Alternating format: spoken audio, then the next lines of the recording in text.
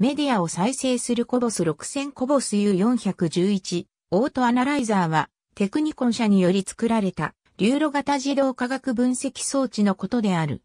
現在は BL テック社が発展型の装置を製造、販売している。液体の検体を流路内で発色反応させるなどして自動的に測定器で測定する装置。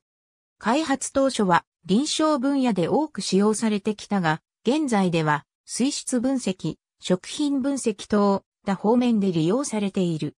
また、同装置は河川水質試験方法、海洋観測指針、下水道法などに工程法として取り入れられており、低濃度域での分析に実績がある。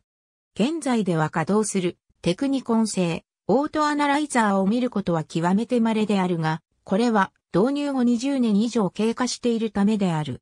現在では上記の2社の製品化、ブランルーベ社の製品が引き続き稼働している。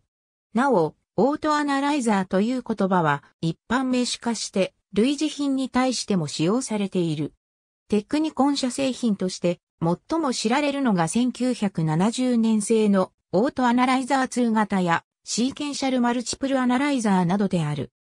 これらの機器は配管内のつまり配管の汚れ、漏れなどを生じやすく、正しい測定結果を導くために測定者は機器特有の専門的技能が必要だったこともあったが、機器の改良が進み、現在では上記の問題は起こらなくなっている。